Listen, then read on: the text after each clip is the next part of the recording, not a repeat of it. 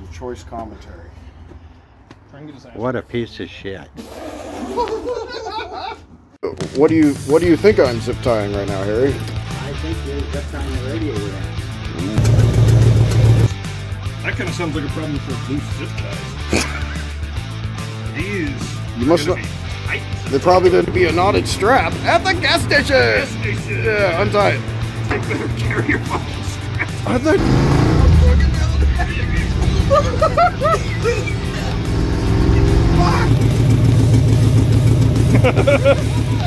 think.